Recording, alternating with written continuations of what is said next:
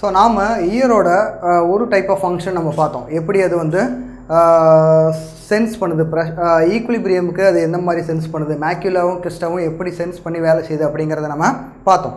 இப்போ அதோட major function ஆகுதுன்னா அந்த ஃபோனோ ரிசப்டர் சவுண்டை எப்படி அது ரிசீவ் பண்ணுது? அதில் இருக்கக்கூடிய ஸ்ட்ரக்சர் என்ன அப்படின்னு நம்ம பார்த்தோம் அப்படின்னா அந்த இன்னர் இயரில் இருக்கக்கூடிய அந்த ஸ்ட்ரக்சர் தட் இஸ் ஒரு கால் காக்லியா அதுதான் அது அந்த மேஜர் சவுண்ட் ரிசீவ் பண்ணக்கூடிய அந்த ஸ்ட்ரக்சர் ஸோ நம்ம ஏற்கனவே ரெண்டு ஸ்ட்ரக்சர் நம்ம இயரோட காம்பனன்ட்ஸ் நம்ம பார்க்கும்போது பார்த்தோம். எக்ஸ்டர்னல் இயர் அது உள்ளே இருக்கக்கூடிய அந்த எக்ஸ்டர்னல் மீட்டர்ஸ் அது உள்ளே போய் ஒரு மெம்பரேனஸ் ஸ்ட்ரக்சரில் முடியுது. அதுக்கு பேர் டிம்பானம் அல்ல இயர் ட்ரம் அந்த இயர் ட்ரம் மிடில் இயரில் இருக்கக்கூடிய அந்த மூணு போன்ஸ் அது வந்து இயர் ஆசிக்கல்ஸ் நம்ம சொல்கிறோம் அந்த மூணு போன்ஸ்லேயும் போயிட்டு அதுக்கப்புறமா அந்த சவுண்ட் வேவ்ஸை எங்கே போய் அது கொடுக்கும் அப்படின்னா ரெண்டு விண்டோஸ் நம்ம பார்த்தோம். அதில் அந்த மேலே இருக்கக்கூடிய அந்த ஓவல் விண்டோவில் போயிட்டு அது கனெக்ட் ஆகிருக்கும் அப்படின்னு நம்ம சொன்னோம். அதுலேருந்து நம்மளுடைய கதையை நம்ம இங்கே ஆரம்பிக்கிறோம். ஸோ இங்கே அந்த போன் வந்து இங்கே கனெக்ட் ஆகுது. அந்த தேர்ட் போன் வந்து இங்கே வந்து இந்த மாதிரி கனெக்ட் ஆகுது. ஓகே ஸோ இந்த விண்டோக்கு பேர் ஓவல் விண்டோ ஓகே இந்த ஓவல் விண்டோவில் இருந்து நம்மளோட காக்லியா ஸ்ட்ரக்சர் நம்ம பார்க்க போகிறோம் காக்லியா வந்து நம்ம இங்கே ட்ரா பண்ணியிருக்க மாதிரி அது இருக்காது. ஆக்சுவலாக அது எப்படி இருக்கும் அப்படின்னா இந்த மாதிரி ஒரு ஸ்னெயில் மாதிரியான ஒரு ஷேப்பில் இருக்கும். ஒரு டூ ஃபோர்த்து சர்க்கிள் மாதிரி அது இருக்கும். பட் இப்படி போட்டு நான் சர்க்கிளில் ட்ரா பண்ணால் உங்களுக்கு புரியாதுங்கிறதுனால நான் உங்களுக்கு அதை அது அன்காயில் பண்ணி மாதிரியான ஸ்ட்ரக்சரில் நான் இங்கே ட்ரா பண்ணியிருக்கிறேன். நம்ம புக்கில் இந்த மாதிரி இருக்கும். பட் நீங்கள் எப்படி புரிஞ்சுக்கணும் அதை? நான் இங்கே ட்ரா பண்ணியிருக்கிறது. இதை நான் அன்காயில் பண்ணி இப்படி ஸ்ட்ரைட்டாக பண்ணால் இந்த மாதிரி இருக்கும் அப்படின்னு நான் உங்களுக்கு புரியுதுக்காக இப்படி நான் ட்ரா பண்ணியிருக்கிறேன். ஓகே ஸோ இதை நம்ம இதுதான் ஆக்சுவல் காக்லியாவோட அந்த லேயர்ஸ் ஆஃப் ஸ்ட்ரக்சர்ஸ் ஸோ இதில் நம்ம பார்த்தோம் அப்படின்னா மூணு ஏரியாஸ் இருக்குது நம்ம இந்த டயக்ராமை கரெக்டாக ஃபாலோ பண்ணால் நம்ம ரொம்ப ஈஸியாக அதை ஞாபகம் வச்சுக்கலாம். இதில் இந்த இது ஒரு சேம்பர் இது ஒரு சேம்பர் இது ஒரு சேம்பர் மேலே ஒரு ஒரு சேம்பர் கீழே ஒரு சேம்பர் மிடில் ஒரு சேம்பர் ஓகே இந்த மேலே இருக்கிற அந்த சேம்பர் நம்ம என்ன சொல்லலாம்? ஸ்கேலா வெஸ்டிபுலே அப்படின்னு சொல்லலாம்.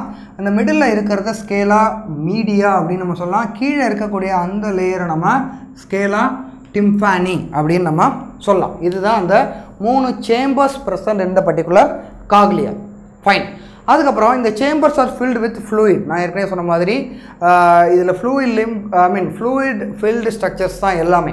ஸோ அப்போது இங்கே இருக்கிற இந்த ஃப்ளூயிடுக்கு பேர் ஐ மீன் இந்த ரெண்டு எக்ஸ்டர்னல் சைடு இந்த அவுட் சைட்லையும் இந்த அவுட் சைட்லையும் இருக்கக்கூடிய இந்த மிடில் இல்லாமல் ரெண்டு சைட்லையும் இருக்கக்கூடிய ஃப்ளூயிட் வந்து பெரிலிம்ஃப் ரெண்டு சைட்லேயும் பெரிலிம்ஃப் ஃபில் ஆகிருக்கு மிடில் மட்டும் என்ன ஃபில் ஆகிருக்கும் அப்படின்னா எண்டோ லிம்ப் ஃபில் ஆகிருக்கும் ஓகே ஸோ இதுவும் நம்ம ஞாபகம் வச்சுக்கணும். மூணு சேம்பர்ஸ் ஸ்கேலா வெஸ்டிபிளி ஸ்கேலா மீடியா ஸ்கேலா டிம்பானி இதில் ஸ்கேலா வெஸ்டிபிளியும் scala டிம்பானியும் filled with fluid call perilymph middle இருக்கக்கூடிய ஸ்கேலா மீடியா மட்டும் filled with endolymph fine அதுக்கப்புறமா இதில் இருக்கக்கூடிய லேயர்ஸ் மெம்பரைன் பார்த்தோம் அப்படின்னா இதில் மேலே இதில் இது இந்த மிடில் ரீஜனும் அப்பர் ரீஜனும் செப்பரேட்டட் பை எ மெம்பரைன் அதுக்கு பேர் ரெனாய்ஸ் மெம்பரைன் ஓகே அதுக்கப்புறமா இந்த மிடிலும் கீழே இருக்கக்கூடிய லேயரும் separated by basilar membrane okay so இதில் நமக்கு ரொம்ப முக்கியமான ஸ்ட்ரக்சர்ஸ் அப்படின்னு நம்ம பார்த்தோம் அப்படின்னா இந்த பேசிலார் மெம்பரைன் அந்த பேசிலார் மெம்பரைனில் நம்ம நம்மளுடைய ஆடிட்டரி செல்ஸ் வந்து நிறைய இருக்கும். அந்த ஆடிட்டரி செல்ஸ் வந்து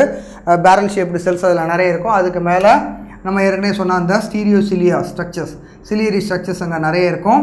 ஓகே அதுக்கு மேலே இந்த மிடில் கம்பார்ட்மெண்ட்லேயே இன்னொரு டைப் மெம்பரைன் அதுக்கு மேலேயே ஃப்ளோட் ஆன மாதிரியான ஒரு ஸ்ட்ரக்சரில் ஒரு மெம்பரைன் இருக்கும். அதுக்கு பேர் டெக்டோரல் மெம்பரைன் ஓகே அதுக்கு பேர் டெக்டோரல் மெம்பரைன் இதுதான் நமக்கு தெரிய வேண்டிய இந்த ஆக்சுவல் காக்லியாவோட ஸ்ட்ரக்சர் இது வச்சுட்டு இது எப்படி சவுண்டு ப்ரொடியூஸ் பண்ணுது அப்படிங்கிறத நம்ம பார்க்கலாம். நான் ஏற்கனவே சொன்ன மாதிரி இந்த இந்த இது வந்து இந்த ஆடிட்டரி செல்ஸ் இதில் வந்து அந்த ஆடிட்டரி நர்வ்ஸ் வந்து கனெக்ட் ஆகி இது வந்து சிக்னலை அங்கே பிரெயினுக்கு எடுத்துகிட்டு போக போதும் ஃபைன் ஸோ இப்போ இது எப்படி வேலை செய்யுது அப்படிங்கிறத நம்ம பார்க்கலாம். நான் ஏற்கனவே சொன்ன மாதிரி external ear they cone receive the sound wave அதை சேனலைஸ் பண்ணுது. ஆடிட்டரி மீட்டர்ஸ் வழியாக உள்ளே அது எடுத்துகிட்டு போகுது. டிம்பானிக் மெம்பரில் அது போய் அந்த சவுண்ட் வேவ்ஸ் வந்து உள்ளே ப்ரெஷரைஸ் பண்ணுது.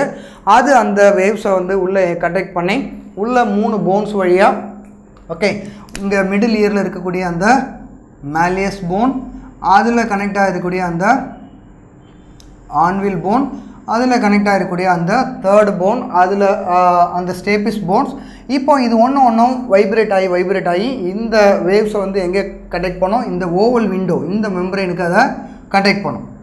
ஓகே இந்த ஓவல் விண்டோ உள்ளே போன உடனே அது அந்த வைப்ரேஷனில் அது என்ன பண்ணும்? உள்ளே அந்த ஃப்ளூயிடுக்கு அந்த வைப்ரேஷனை கண்டெக்ட் பண்ணும்.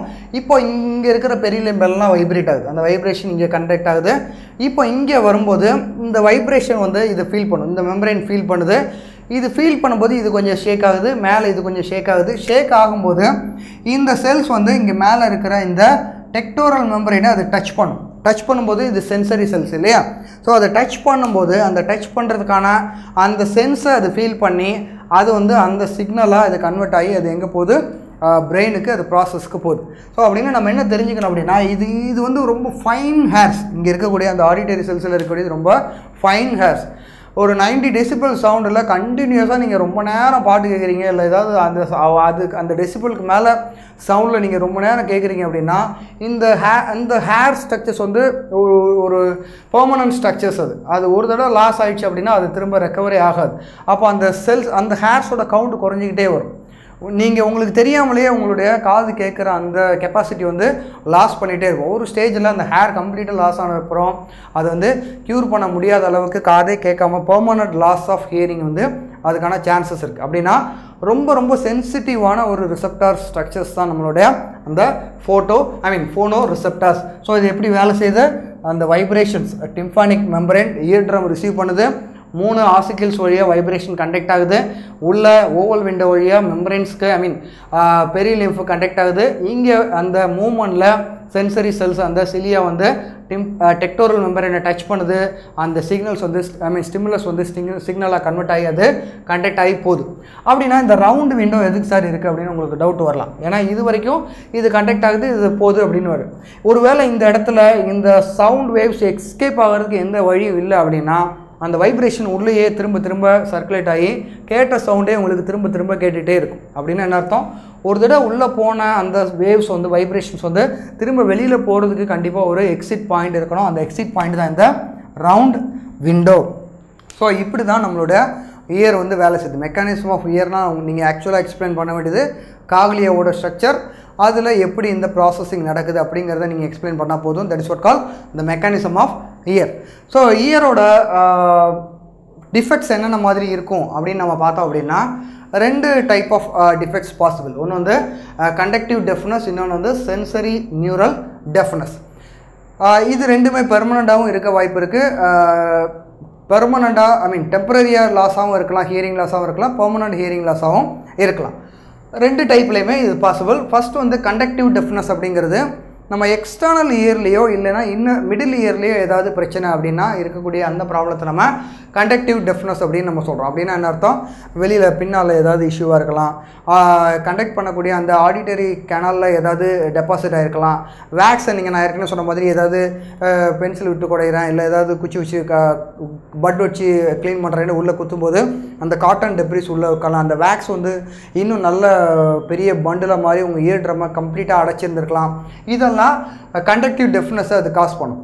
அதுக்கப்புறம் இந்த வேக்ஸ் வந்து உள்ளே நீங்கள் நல்லா குத்து குத்துன்னு குத்துட்டிங்கன்னா அந்த டிம்பானிக் மெம்பரேன்னா அப்படியே நல்லா போயிட்டு ஒரு ஒரு சோறு மாதிரி அது பிளாக் பண்ணிடும். சுத்தமாக கொஞ்ச நேரத்துக்கு காதே கேட்காது. அந்த வேக்ஸை சர்ஜரி மாதிரியோ இல்லைன்னா வேறு ஏதாவது ஒரு எக்ஸ்பர்ட்டை போயிட்டு நீங்கள் ரிமூவ் பண்ணால் ஒழிய உங்களால் உள்ளே அந்த வைப்ரேஷன்ஸை கண்டக்ட் பண்ணவே முடியாது. ஸோ இது எல்லாமே கண்டக்டிவ் டெஃப்னஸ் அதே மாதிரி மிடில் இயரில் அந்த மூணு போன்ஸ் ஆசிக்கல் போன்ஸ் வைப்ரேட் ஆக முடியாத மாதிரி ஏதாவது ப்ராப்ளம் ஆயிடுச்சு. அது ஏதாவது போன்ஸ் டிஸ்லொகேட் ஆயிடுச்சு. இல்லை அங்கே ஏதாவது ஏர் கேவிட்டியில் ஏதாவது இஷ்யூ டஸ்ட்டு ஏதாவது ஏதாவது இன்ஃபெக்ஷன் அங்கே வந்துருச்சு அந்த மாதிரி ஏதாவது இஷ்யூஸ் இருந்துச்சுனாலும் கண்டக்டிவ் டெஃப்னஸ் பாசிபிள் அடுத்த ஸ்டேஜ் வந்து அடுத்த லெவல் வந்து சென்சரி நியூரல் டெஃப்னஸ் அப்படின்னா என்ன? சென்சரி நியூரல் டெஃப்னஸ்னால் இங்கே நான் ஏற்கனவே சொன்ன மாதிரி நம்மளுடைய இன்னர் இயரில் அந்த காக்லியல் ஸ்ட்ரக்சரில் ஏதாவது மெம்பரன் டிஃபெக்ட்ஸு இல்லை அந்த பெரியலிஃபில் ஏதாவது டிஃபெக்ட்ஸு அதை விட முக்கியம் அங்கே அந்த ஆடிட்டரி செல்ஸ் அது வந்து அந்த சிலியரி அந்த ஹேர்ஸ் வந்து ஏதாவது டேமேஜ் ஆயிடுச்சு அப்படின்னா அங்கே அந்த நியூரல் சிக்னலே அதால் க்ரியேட் பண்ண முடியாது. அதெல்லாம் நம்ம சென்சரி நியூரல் டெஃப்னஸ்னு சொல்கிறோம் நான் ஏற்கனவே சொன்ன மாதிரி இதுதான் ரொம்ப சிவியர் ப்ராப்ளம் இது இது வந்துச்சு அப்படின்னா அந்த டெஃப்னஸை க்யூர் பண்ணுறது கொஞ்சம் கஷ்டம். ஃபைன் ஸோ இவ்வளோ நேரம் நம்ம பார்த்தது ஃபோனோ ரிசெப்டாஸ் இல்லைனா இயர் அதோட ஸ்ட்ரக்சர் அதோட ஃபங்க்ஷன் அந்த டீட்டெயில்ஸ் நம்ம பார்த்தோம். நம்மளுடைய சாப்டரோட எண்டில் மற்ற ரிசப்டாஸ் பற்றி ஒரு அவுட்லைன் கொடுத்துருக்குறாங்க. ஆல் ஃபேக்டரி ரிசப்டாஸ்னால் என்ன? கஸ்டேட்டரி ரிசப்டாஸ்னால் என்ன? டச் ரிசப்டாஸ்னால் என்ன அப்படின்னு கொடுத்துருக்குறாங்க. அதில் அதோட நேம்ஸும் அவங்க கொடுத்துருக்குறாங்க. வாட் எவர் மேபி த ரிசப்டாஸ் அதோட லொக்கேஷன் நமக்கு தெரியணும். ஆல்ஃபாக்டரி ரிசப்டாஸ்னால் எங்கே இருக்கும் நம்மளோட இந்த ஆல்ஃபேக்டரி செல்ஸ் அந்த நோஸ் அதில் இருக்கக்கூடிய அந்த எபித்திலிய லேயர்ஸில் இருக்கும். ஆல்ஃபேக்டரி செல்ஸ் அதில் அங்கே இருக்கும். எப்போவுமே ஒரு ரிசப்டார் செல்ஸ் இருக்குதுன்னா அதுக்கு சப்போர்ட்டிங் செல்ஸ் இருக்கும். எந்த ரிசெப்டராக இருந்தாலும் சரி இங்கேயுமே நான் ஏற்கனவே சொன்ன மாதிரி இங்கே ஆடிட்டரி செல்ஸ் இருக்குதுன்னா அதுக்கு கண்டிப்பாக சப்போர்ட்டிங் செல்ஸ் இருக்கும். நம்ம ஐஸ் பற்றி டிஸ்கஸ் பண்ணும்போது ராட்ஸ் அண்ட் கோன்ஸ் பார்த்தோம் அப்படின்னா அதில் கண்டிப்பாக அதில் சப்போர்ட்டிங் செல்ஸ் அங்கே கண்டிப்பாக இருக்கும். ஸோ அதே மாதிரி மற்ற எல்லா ரிசப்டார்ஸ்லையும் ஆல்ஃபாக்டரி ரிசப்டார்ஸ்லையும் ஆல்ஃபாக்டரி நர்வ்னு ஒன்று க்ரியேட் ஆகும்.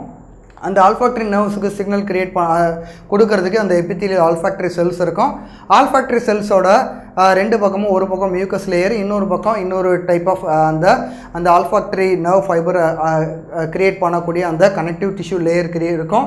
அது எல்லாம் சேர்ந்து அந்த சப்போர்ட்டிங் செல்ஸோடு சேர்ந்து ஒரு ஸ்ட்ரக்சரை ஃபார்ம் பண்ணி அந்த அந்த சிக்னலை அந்த ஸ்டிமுலஸை அதை கண்டக்ட் பண்ணும். அதே மாதிரி கஸ்டட்டரி ரிசப்டார்ஸ்லேயும் அதே மாதிரி தான் அது. அந்த டேஸ்ட் நம்ம டங்கில் நார்மலாக கஸ்டட்டரி ரிசப்டர்ஸ் எங்கே இருக்கும் அப்படிங்கிறது நிறைய பேர் டவுட் டங்கில் மட்டும்தான் இருக்குமா அப்படின்னு நிறைய பேர் டவுட் ஆக்சுவலாக டங்கில் மட்டும் கிடையாது.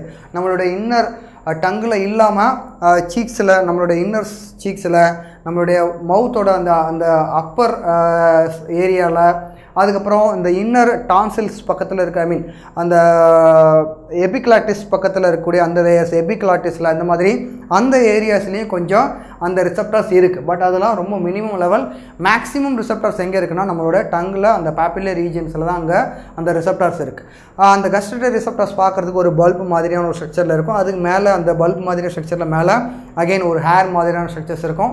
அந்த ஹேர் வந்து அந்த கெமிக்கல் சிக்னல்ஸ்க்கு கீமோ ரிசப்டார்ஸ் இதெல்லாமே எல்லாமே chemo receptors olfactory receptors gustatory receptors எல்லாமே கீமோ ரிசெப்டாஸ் நாம் இயரில் பார்த்ததெல்லாம் ஃபிசிக்கல் ரிசெப்டாஸ் சவுண்ட் வேவ்ஸ் வந்து அடிக்கிறதுனால அது ரிசீவ் பண்ணுறது ஃபிசிக்கல் ரிசெப்டாஸ் அதே மாதிரி நம்ம ஐ வந்து ஃபிசிக்கல் ரிசெப்டாஸ் பட் இங்கே ஆல்ஃபேக்டரி கஸ்டட்டோ எல்லாம் கெமிக்கல் ரிசெப்டாஸ் நம்ம சாப்பிட்ற சாப்பாடில் சுகரோ இல்லை காரமோ ஸ்பைசி எதாவது சாப்பிட்றீங்கன்னா அந்த கெமிக்கல் காம்பவுண்ட் சலைவாலியோ இல்லை இதில் டிசால்வ் ஆகி அதை ஃபீல் பண்ணுறதுனால அதை நம்ம கெமிக்கல் ரிசெப்டாஸ்னு சொல்கிறோம் அந்த கெமிக்கல்ஸ் வந்து அந்த ஹேரில் படும்போது அது அந்த ரிசப்டார் செல்ஸ் வழியாக அந்த சிக்னலாக கன்வெர்ட் ஆகி எப்படி அந்த ஸ்டிமுலஸ் வந்து சிக்னலாக கன்வெர்ட் ஆகி பிரெயினுக்கு போகுதுங்கிறத நம்ம கஸ்டேட்டட் ரிசப்டார்ஸில் நம்ம பார்க்குறோம்.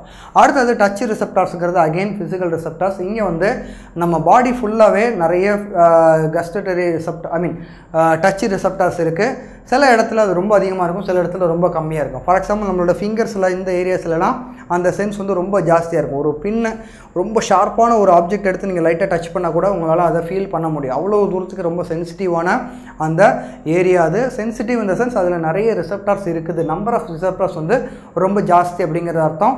இதில் நிறைய டைப் ஆஃப் ரிசப்டார்ஸ் இருக்குது லைட் சென்சிட்டிவ் ரிசப்டார்ஸ்லேயே நிறைய டைப் ஆஃப் ரிசப்டார்ஸ் இருக்குது அதில் நிறைய நேம்ஸ் நம்ம புக்கில் கொடுத்துருக்குறாங்க. அதை நீங்கள் பார்த்துங்க.